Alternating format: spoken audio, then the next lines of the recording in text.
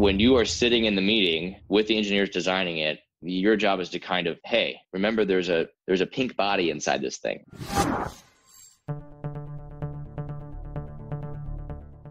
From EE Tech Media, this is Moore's Lobby, where engineers gather to talk all about circuits. I'm Dave Finch.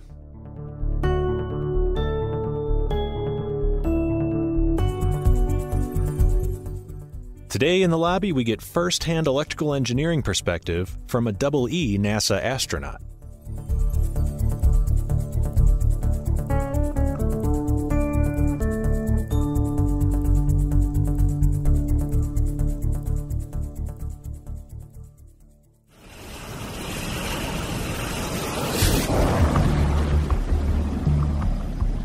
I personally don't know how we managed to book this person, but I'm joined today by astronaut Matthew Dominick, a highly recognized pilot and astronaut who started his career with a BS in electrical engineering from University of San Diego with minors in math and physics. He holds a master's of science in systems engineering from the Naval Postgraduate School, and he's a graduate of the U.S. Naval Test Pilot School. Um, it remains unclear whether he is also a secret world renowned jazz pianist, but I wouldn't be surprised if he were. Uh, Matthew, welcome to the lobby. so excited to be here. Uh, I, I, love this format, and uh, I love being able to geek out with uh, fellow nerds and talk about cool stuff. Me too. And I don't, there, I know there's a lot of engineers in the world. I always feel like there's not enough people to geek out with and just talk about nerdy engineering stuff.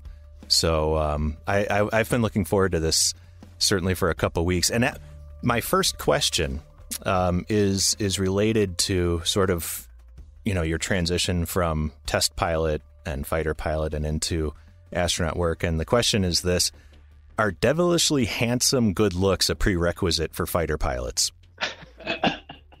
uh, no, no. I used to get uh, I used to get a lot of trouble. In one of my previous squadrons. Uh, there was, you know, you're on an aircraft carrier. There's a bunch of squadrons. There's typically four fighter squadrons and a couple helicopter squadrons and an early warning attack. All these other squadrons.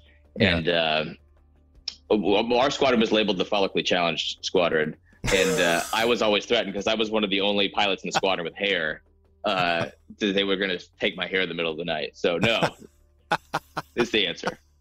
they were going to take my hair in the middle of the night. There's our poll quote. I think the rest of the interview is just gravy right now. Well, I mean, one time it did happen. I mean, you can imagine being on a, a boat uh, for a couple months uh, with nowhere to go, and it, you, are just the same people every day, and you're kind of having a good time. And and uh, I had uh, pulled a prank on somebody else, uh, which is one of my favorite activities.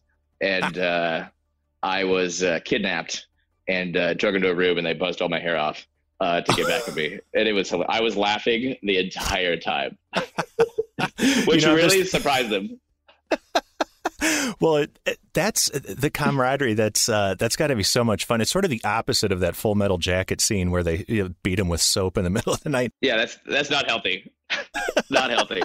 Yeah, I've, I've, actually I, I have been looking forward to this uh, for several weeks now, and, and, when the editorial team, by the way, um, at All About Circuits mentioned that we'd be uh, interviewing an astronaut, I was like, all right, cool. You know, that's I, I love astronauts. But um, then I started reading your bio, and um, you know, if you're already a, if you're not already aware of how cool you are, listen to this. So you finished your undergrad in 2005. You get sent to Florida for two years for flight training. So now you're probably early 20s, right? 23, 24. That sounds right. Okay. Um, that's when you receive uh, received designation as a naval aviator for the U.S. Navy. They put you in the FA 18E Super Hornet, which is like the the de facto. I mean, there's I think we have 600 of these right now um, uh, in, in, the U.S. if I'm not mistaken. Um, easily one of the most badass planes uh, man has invented, and it's been getting these like these overhauls right since the since the 1980s. Um, and uh, then you get assigned to something called uh, I don't know what this is. I can imagine what it is. The Strike Fighter Squadron, um, and it's just funny to hear like like that's just normal words for me. But you know, like it's, and they're like Strike Fighter Squadron one four three, and uh, and and then you look at it, and you go, "What are you talking about?" It makes sense. like, so are you guys the group of planes that flies over things and yes, yes. Strike Fighter Squadron one four three. It's like you're uh, being interviewed by Patrick Star from SpongeBob. oh boy. Uh, uh, yeah. So, so, now you're assigned to this uh, Strike Fighter Squadron 143. You're you're flying missions, who knows where. You're I mean, you're doing the coolest stuff. You're doing carrier takeoffs and landings. Um, and then so while you're doing all that, they say, "Hey, this guy's uh, pretty great." So they start grooming you to be a test pilot. And then while you're learning to be a test pilot, why not? You've got some free time on your hands. You get a master's in systems engineering. and then you start getting pulled into projects like, uh, you know, uh, you've had your hand in the X 47B, which is an unmanned um, carrier based combat plane, I think from Northrop Grumman, um, the V 22 Osprey, a bunch of others, not the least of which being my current favorite fighter of all time, the F 35, um, uh, because I'm a, a double E dork. Um, that is a double E airplane. And so is the Super Hornet. I, you know, the the fighter pilot world is full of you know fighter jocks, and uh, I'm a double mm-hmm. E nerd, and I always you know everybody would say, hey, we're, we got to go start up the jets, we got to launch, and I would I would never say start up the jets. I would always say, hey, we got to go boot up the jets, nice. and it was just my subtle way of poking like this is a this has got four flight control computers, it's got you know all of this mission computer hardware, it does this incredible data fusion stuff with all of its sensors. Uh, it does all of these things. Like this is an electronic uh, so the F, the, the Super Hornet, you know, is a newer airplane. It came out in 1998, and it just keeps getting all these upgrades. And the F-35 is is a double E machine. Like you have all of the, you know, PhDs in radio frequency doing their black magic over there in RF land.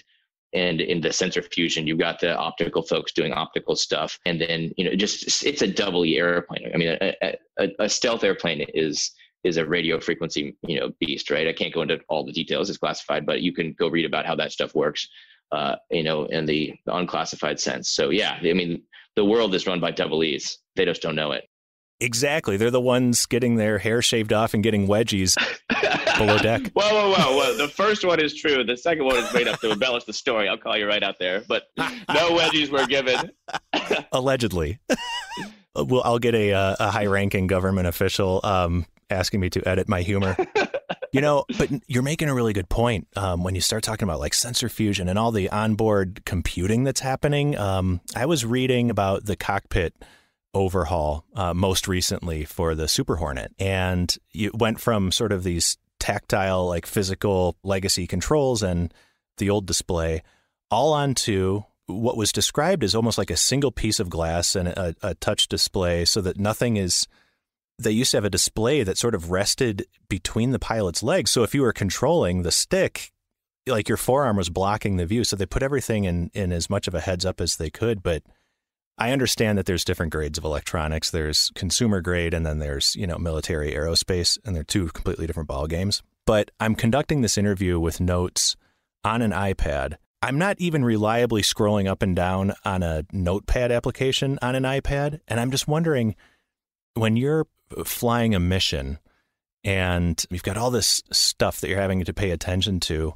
What is your relationship with something like a touch screen? Like that to me that blows my mind that that's what's at the heart of the new cockpit. Oh man. You have opened up a giant can of worms, sir. giant can of worms. We could have a podcast just talking about touchscreen versus buttons. I can imagine. I mean, I could actually probably talk for an hour about toasters, a toaster design. Um, that's a whole other podcast. We'll just we'll just tease your listeners about this. Man, I ran into the favorite toaster of my life a couple years ago, and I just I just love it, and I actually use it at work as an example of design. But oh, let's let's talk let's talk about touchscreens. Have you ever used a touchscreen device uh, and it you touched it and it you didn't get the response you wanted? Yeah, like one time out of three. Right. Well, that's huge. Uh, I think um, some people are like, well, I need the rely, you know, I need it when I touch the, my screen uh, with my finger, right? Especially, it depends on what it is, right? You have capacitive, and then you have uh, what's the kind with wires behind it? Resistive.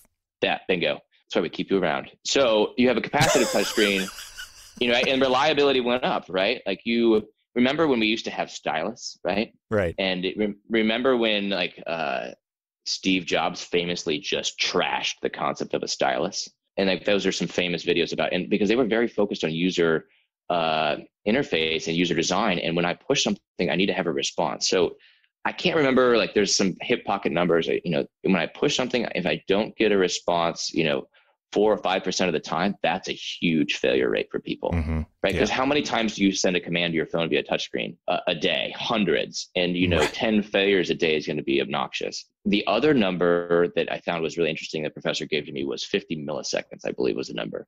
So if you make an input to a device via a tactile button or a uh, or a screen, if you don't get a response within 50 milliseconds, it enters the annoying phase and also you are very highly likely to press it twice. Yes. Because you didn't get the response. So now let's take this concept and let's move it to tactical airplanes, right? So you set up the stage, you painted the picture, you said, hey, there's 25 year old Matt.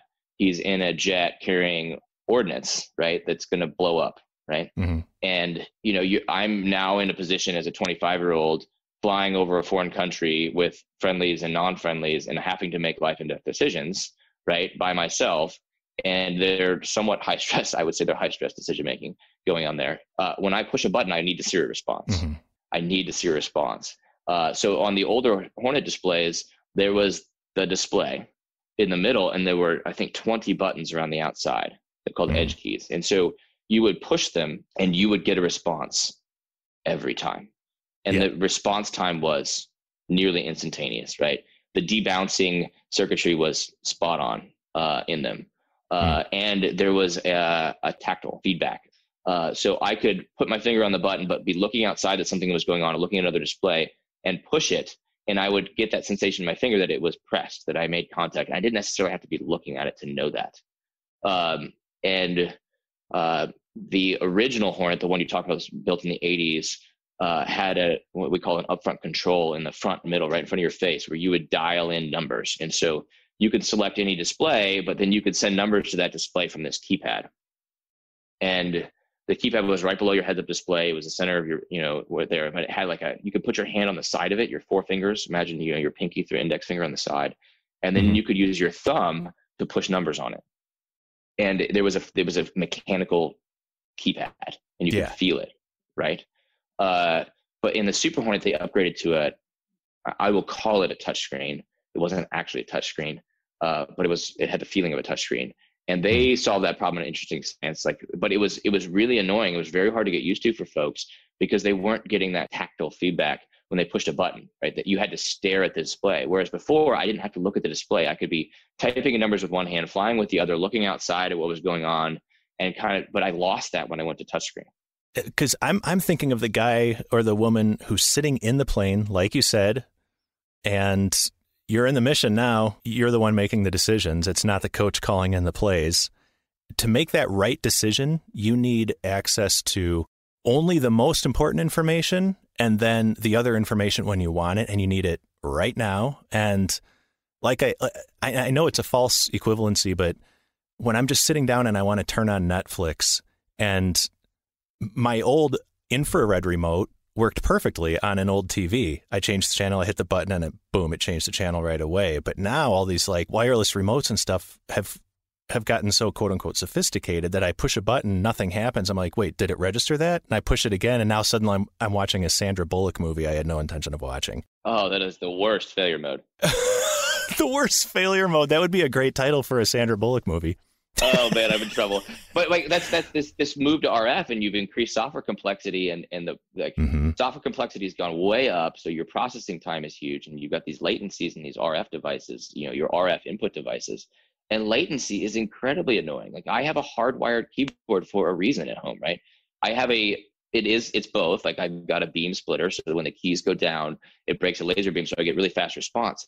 But it's also a mechanical keyboard, so I have that tactile response uh, when I push uh, the buttons, I get that the physical feedback, I get the audio feedback because it makes this really incredible noise that uh, that mm-hmm. that drives everybody else in the house nuts. I mean, it's right here. I just, I mean, doesn't that just sound incredible? I don't know if that's. It sounds like you're getting work done. Oh man, I'm just crushing work right now. Uh, but everybody else in the house is losing their mind. hey, we could do a whole separate ASMR podcast just on that sound. it's so satisfying. Yeah that's man's sort of, um, we'll say, interface to this really important you know 67 69 billion dollar machine whatever it costs. It depends uh, if it has cds cd or leather it depends on which model you have. Yeah.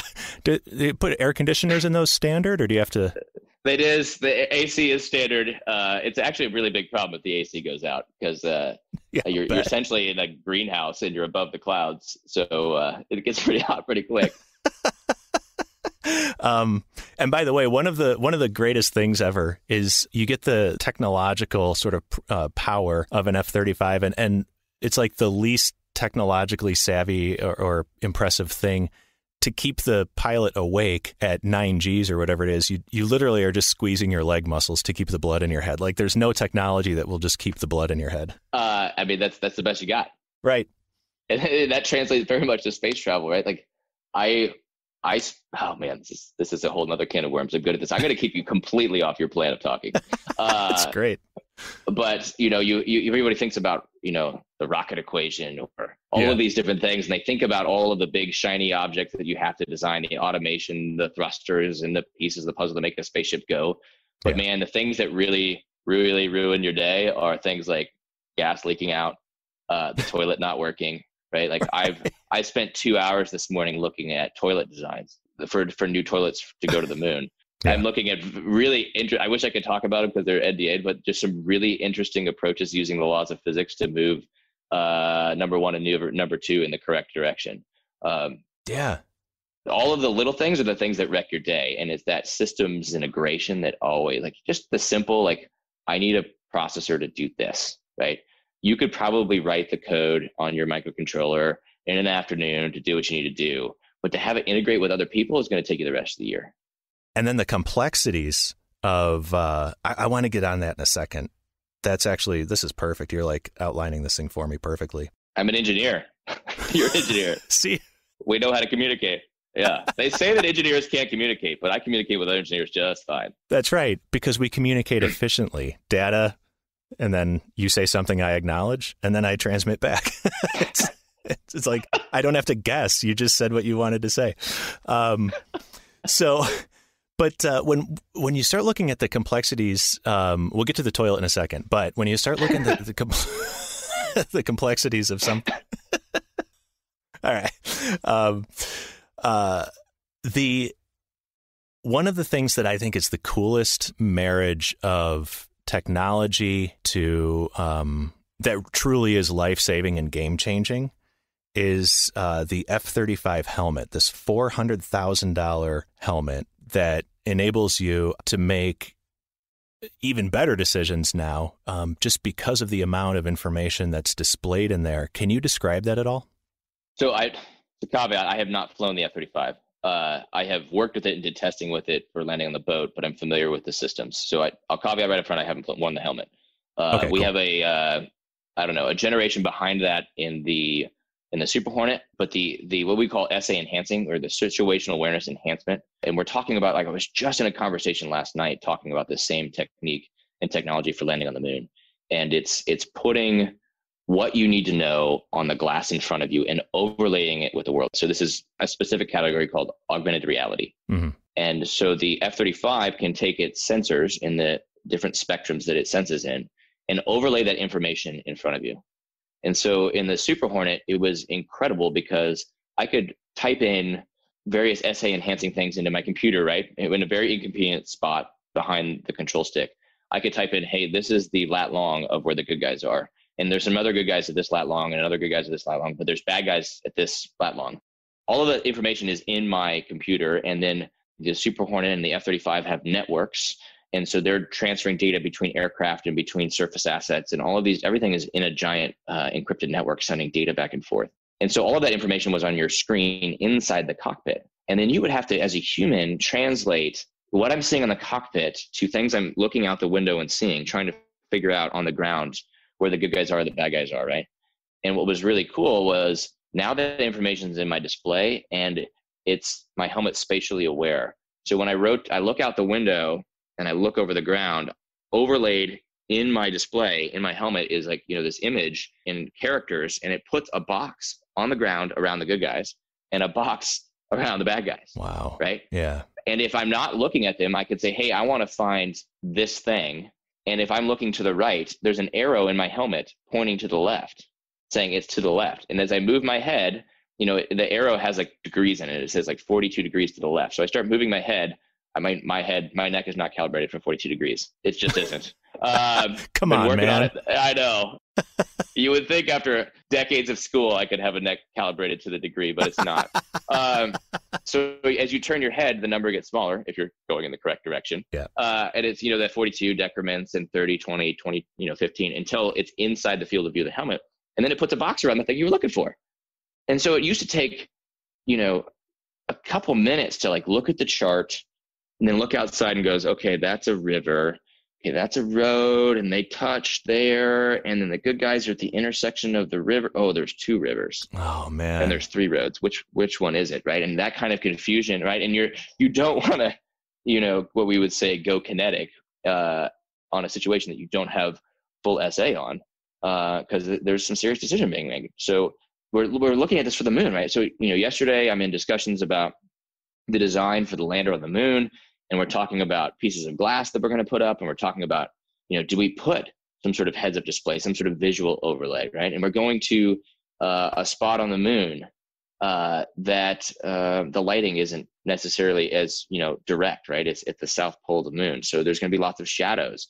How do we enhance the situation awareness of of the astronaut coming to land on the south pole of the moon when there's big craters and you know maybe the light is always on the horizon so there's giant shadows are we going to use different parts of the spectrum? Are we going to use laser beams? Are we going to use infrared? Are we going to what are we going to use? And can, can maybe we overlay that in the heads up uh, glass or not necessarily maybe on a helmet maybe not in a helmet to show hey this this is there right? And so all of the electrical engineering behind the scenes that happens to fuse all of that data that's coming in from sensors outside your spacecraft or outside your fighter jet so that you can have the SA to, to land, right? You only have so much fuel landing on the moon. Uh, you only have a, you know, maybe 30 seconds of fuel. Who knows yet what the design is going to be, but you know, there's, you know, Neil, Neil landing on the moon only had a few seconds of fuel remaining when he touched down on the surface of the moon. Um, all the engineering that goes into that. Microchip's portfolio of integrated technology supports the most demanding requirements for space, aviation, and defense microelectronics. Recent introductions include Microchip's ARM based microcontrollers, a space industry first, which combine the low cost and large ecosystem benefits of commercial, off the shelf technology with space qualified, scalable levels of radiation performance. Go to microchip.com slash aerospace to learn more.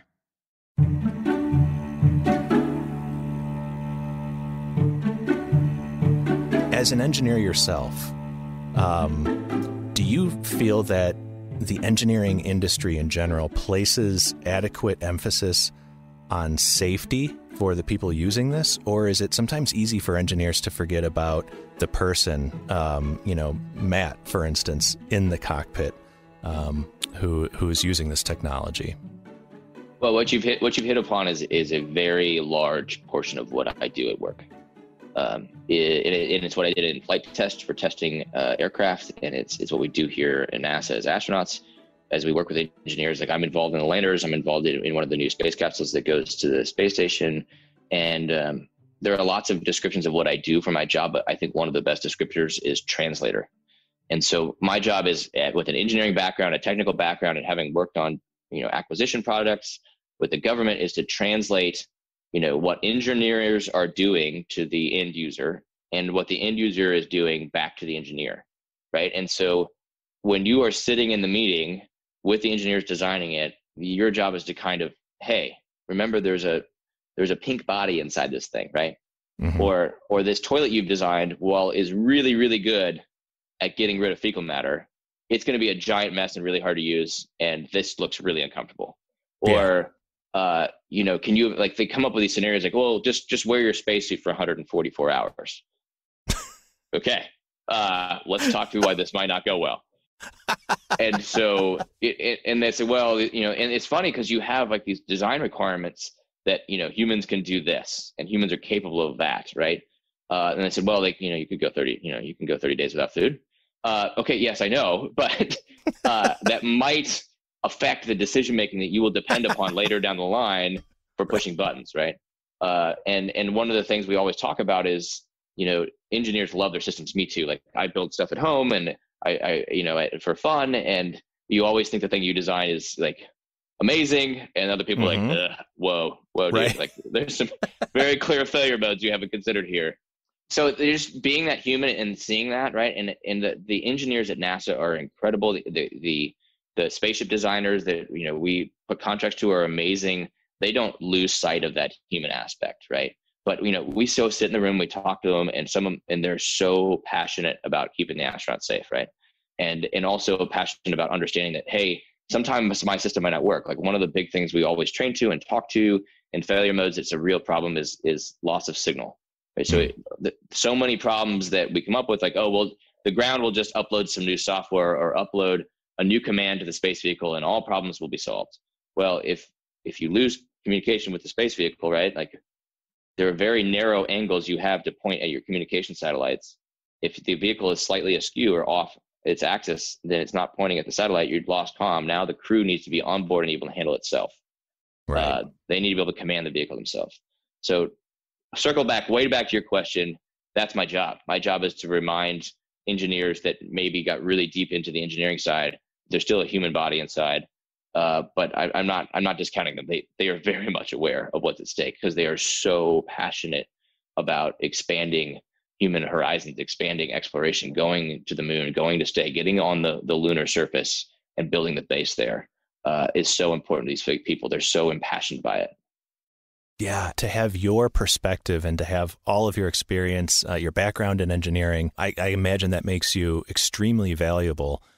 If you look at the development of aerospace technology as a production cycle, of course, you're going to have prototyping, you're going to have testing, you're going to have finally, you know, final production the feedback loop in that is you. Like you're the person saying, you know, I understand you guys thought it would be a good idea to have all these accelerometers, right? But it turns out it, it it's overloading me with information. Like which which thing do I need to be paying attention to? Right. Exactly. So that I mean that the human system integration component is a big part of of what I do, and and that's why you know I I I can get excited at little things like toasters I can get excited about cockpits and how they work. And I've, I've sat in a lot of different cockpits and that, you know, that's why I kind of started to deep dive on you on the touchscreen and we didn't even touch the surface of the touchscreen concept. Really bad dad joke there. Uh, but uh, like there's so much you could, we could just sit down and talk about the human system and how it integrates with, with human made systems. And that interface is so fascinating. And that, that's really what I do. Right. I grew up on a farm and I remember clearly my dad fixing a piece of equipment that was clearly uh, made uh, for ease of manufacturability, right? But the second somebody had to actually put their wrench on it and try to fix it, I remember my dad and made. I was probably eight years old, and it made all the sense in the world to me. He's like, you know, whoever designed this thing clearly never had to work on it, and that's the most important part of anything that humans are using, whether it is a, a favorite toaster or getting yourself so you can land on the moon with exactly as much fuel as you've as you've designed for. Your feedback is what's essentially bringing up the technology so it can grow up. And then the the technology is helping us grow up and evolve um, sort of as as people and what we're able to accomplish i'm curious what observations can you share uh, with us about um, we'll say maybe the recent influx once again, the interest in space travel. Um, you know, especially with with now um, in the uh, the non-government sector, you know, having successful space travel. Uh, what uh, what are some of the more exciting advancements in the field in the technology uh, that you think engineers should know about?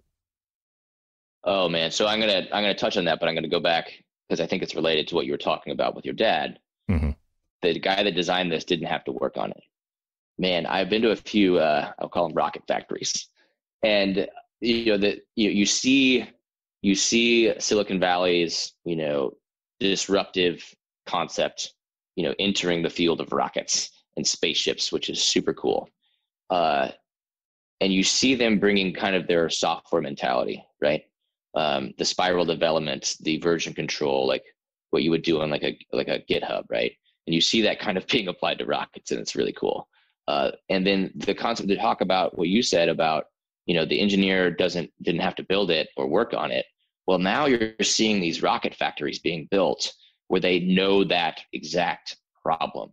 And so what they've done is they put the folks with the CAD and the designing part right next to the factory floor. Aha. And they empower the person on the factory floor who's building it to walk over to the engineer that designed it and maybe like hit him in the head with a wrench, jokingly, and like, hey, come look at this rocket. And so the designers are getting out of their CAD models and they're going on the factory floor and they're turning wrenches and they're going, wow, if I reorient this this way, it will, you know, I'm not adding any mass and I can build it faster. Hmm. And so that's two way, right? Or, you know, and, and that the, the guy on the floor building it can go talk to the, the person designing it and vice versa, right? They can both have this open two way communication. Whereas before, maybe those two elements were separated. And so having that communication and having that open workspace, uh, I think is is we're going to be able to design, build, test, design, build, test, in that iterative loop so much faster. Right? Like it's that was like for me when I, you know, like we all have weird hobbies. I kind of like to write software every now and then. Um, nice. And because you just, it's really, you just get this instant satisfaction, right? Yes. Uh, you build, you get this such really, it's so weird. And maybe I can get out with you on the, on the, over this about this, but you, you write a piece of code, it doesn't work. You write a piece of code, doesn't work. Then it works, right? The, the number comes out yeah. and then you start modifying it, it doesn't work. And you start editing it and then it comes out and then you get like this just, I don't know. I think there's like a dopamine response in my brain when the, the thing that I wanted to come out on the screen, like I'm typing in the code window and then it comes out on the display. I'm like, yes. And yes. that, that OODA loop is so fast, but you could imagine how hard that would be if you're building something like a car or, or something complicated that's mechanical and big, right? And so that's slow and you don't get that dopamine response as fast. Uh, but now we've got 3D printing, right? So 3D printing is cool because I can design on my computer and it's print in my garage and then I can go get the part. Like that speed is what we're starting to see in rocket design. Uh, and we're starting to see in spaceships. Right. So uh, somebody somebody has almost like an aha moment, an epiphany moment, and they say, "Oh my gosh, what if we tried this?" And now we can we can design for that, test for that very rapidly. And it is, by the way, it is a dopamine hit. That's I'm a I'm a software guy through and through because I can go back and examine the code, do the logic in my head, and then okay, that's that's what I was saying wrong, and we're we're actually going to structure the loop this way um, as opposed to the analog design world where I felt like I did all the math. The math was perfect. Why are you still not working? And and once the math doesn't work, then I just feel like, oh my gosh. What? That leads to a very interesting problem. That's one of our, I think, a, key core problem. It's like a repetitive story. The analog stuff takes a long time. You don't get the dopamine response. Mm-hmm. So as a result, I'm just putting this logic tree together right now, real time. As a result, when you are given a problem, your go-to design choice is the digital one with software because yeah. you get those responses back. When I think a lot of times we should be building more analog stuff.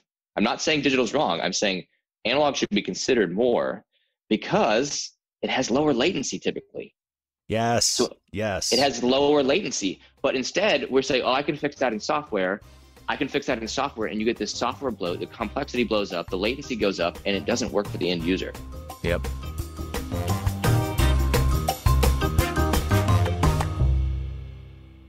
Texas Instruments QMLV qualified radiation hardness assured and space EP products are optimized for high performance and power density. TI helps you meet the most demanding accuracy, thermal, and radiation design requirements to operate in the harshest conditions. Discover more about mission critical high rel products for harsh environments at www.ti.com/space.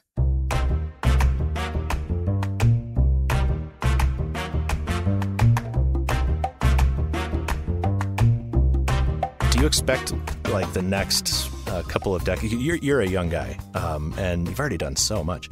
Um, do you see the next couple decades of your career bringing some pretty major tech advancements, like electronics engineering advancements, that you're already seeing on the horizon uh, that maybe the rest of us don't see because we're not in that particular job? You know, things that would really significantly change the na- uh, the nature of air combat or you know space travel, that sort of thing.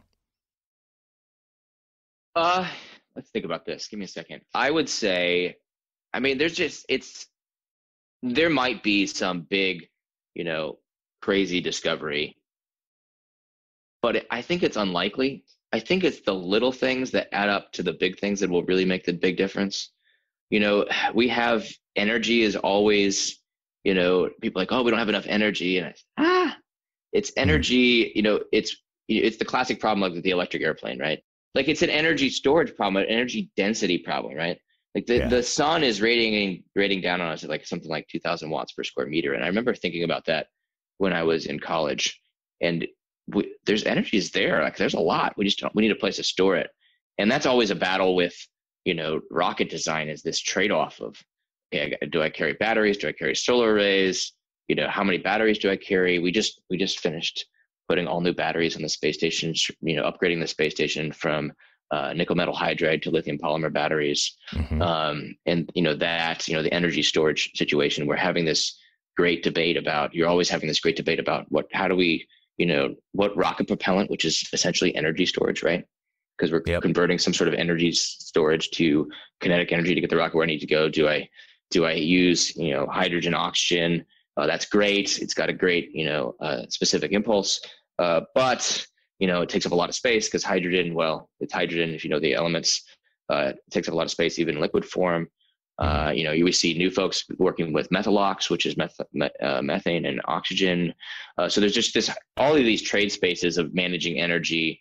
You know, and so if you can solve the energy density problem, right, or safety issue, you know, we're we're looking at uh, uh, hydrogen fuel cells are being considered for aircraft. Um, batteries don't really work for aircraft because they just don't have the energy density because they're just so heavy and you're just not getting the same energy. And oh, by the way, the airplane's not getting lighter as you fly which, right. with, which it does with petroleum products, which have an oh, insane oh, yeah. energy. And so airplanes, you know, you have lift, you have drag, uh, you have weight, and you have thrust. Before is that, that they're all in there somewhere. Um, but the uh, as the airplane's flying, you're losing weight. The the jet fuel is being burned, and you're getting lighter. And as a result, you need less lift to maintain your same altitude, and less lift because there's drag due to lift. There's less drag, so you get more efficient. And so there's that problem. Like we aren't just going to be dropping little battery pods as they burn off across the country on parachutes. Uh, uh, that's just an, an interesting problem to solve.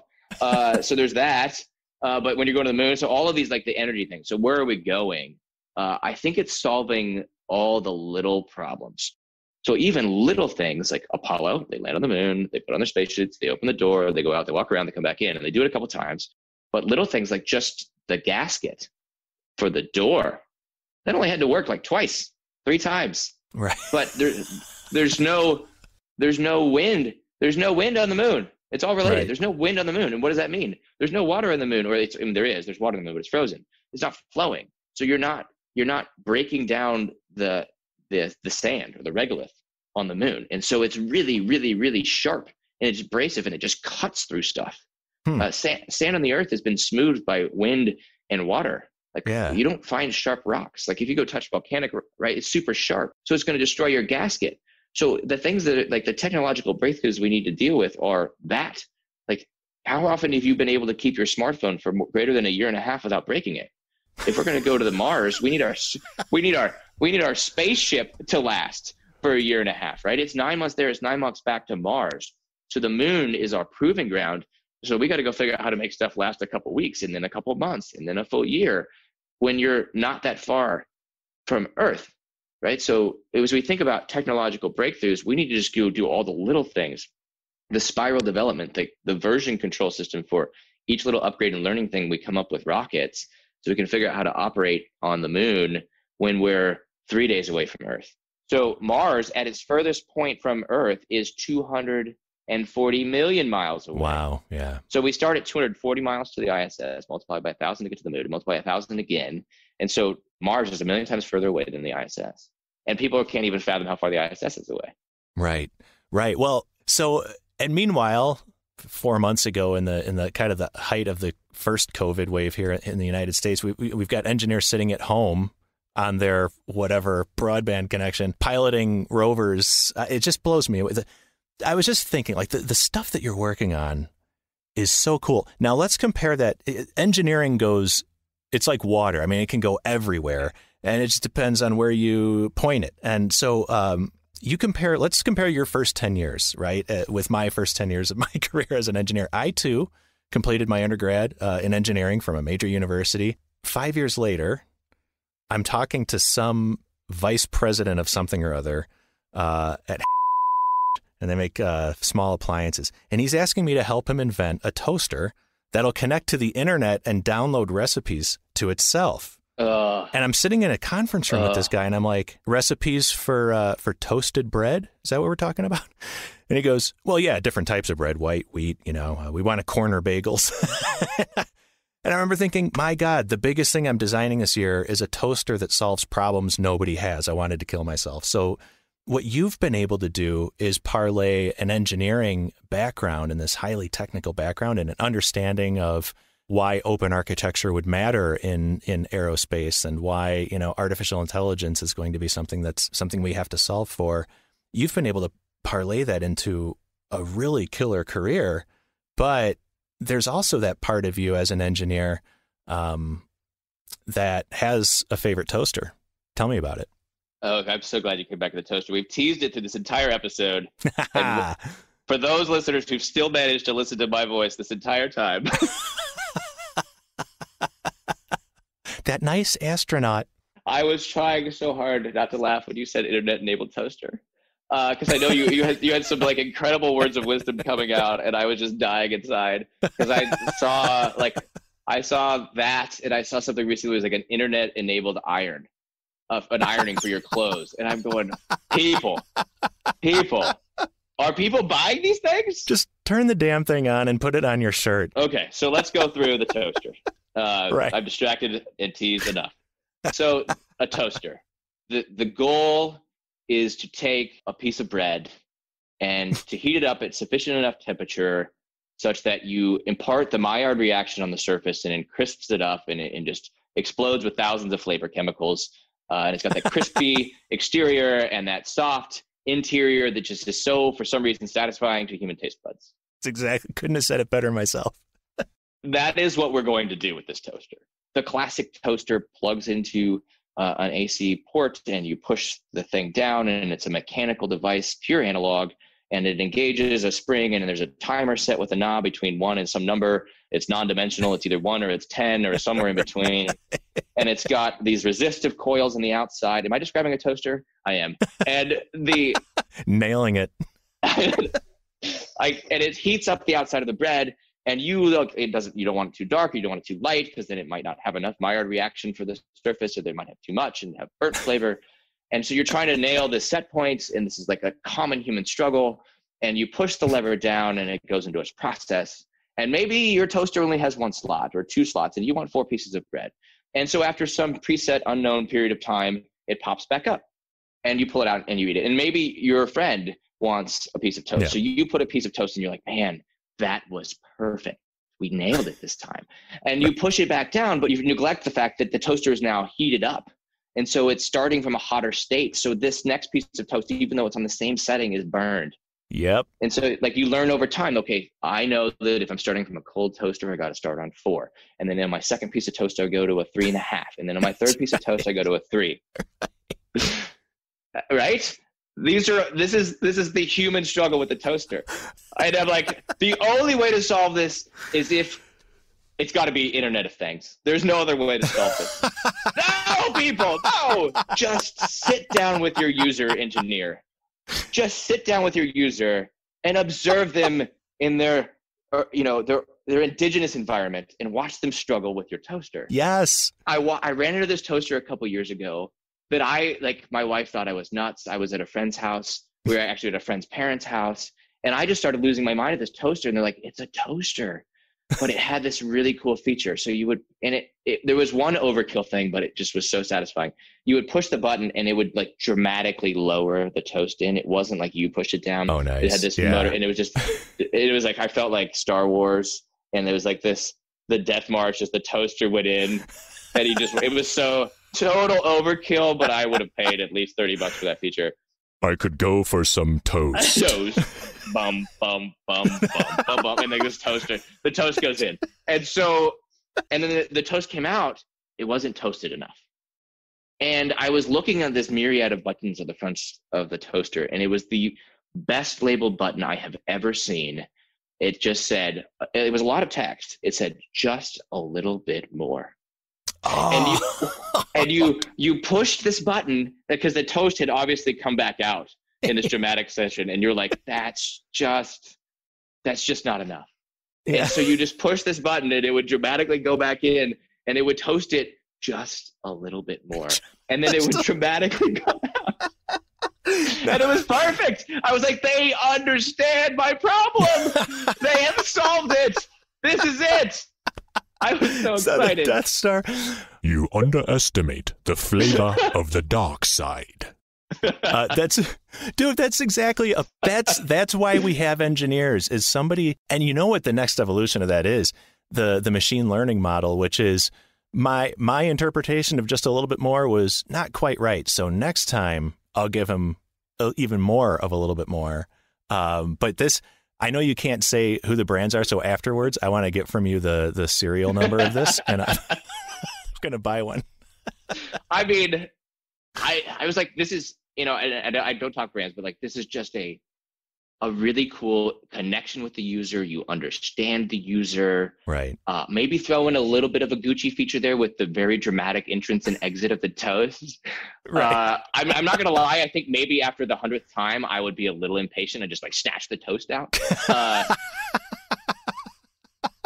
and, and and you could over. I mean, you could go overkill on this thing. Like, you could have like some sort of infrared sensor in there that's looking at the surface of the toast and knows that the. Maillard reaction happens at this temperature, or like you know the things that slow the Maillard reaction down. If like if it's particular, if it's a a piece of toast that has a lot of moisture in it, right? So you you know if there's a lot of moisture, it's got to boil off that moisture before the browning of the toast occurs. I know way Right. too much about toast right now. This is uncomfortable. No, this is great. But it's it that is a classic thing, and I think if you take that design principle and apply it to everything you do and understand the user and do the trade-offs, you will build great things.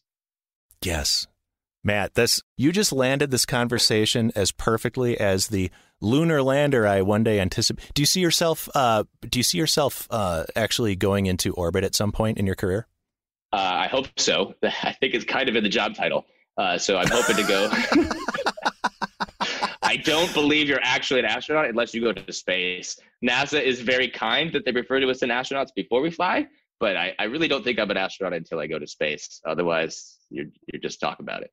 How does that work? Are you brought up like in a farm system or is it just luck of the draw? Farm system. Uh, I do have to run. I do have to. I literally have to go to training this afternoon. oh shoot, Uh, yeah. Okay, cool. But hey, we could talk all day uh, about this, and I will uh, shoot you a message about the brand name. Please do. Hey man, thank you so much for your time. I really appreciate it and and, and keep up the great work. I'm really in awe of, of everything you're doing. Awesome.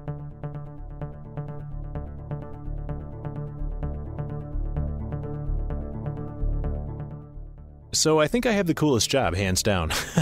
um, what an amazing conversation with the finely coiffed astronaut Matthew Dominick.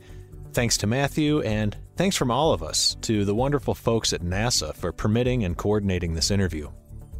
Let us know what you thought of the conversation by dropping your comments onto this episode's page on allaboutcircuits.com.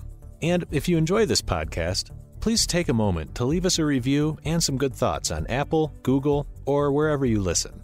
It's a small gesture that really does go a long way in helping us to build a meaningful community of listeners and contributors. Thanks for listening.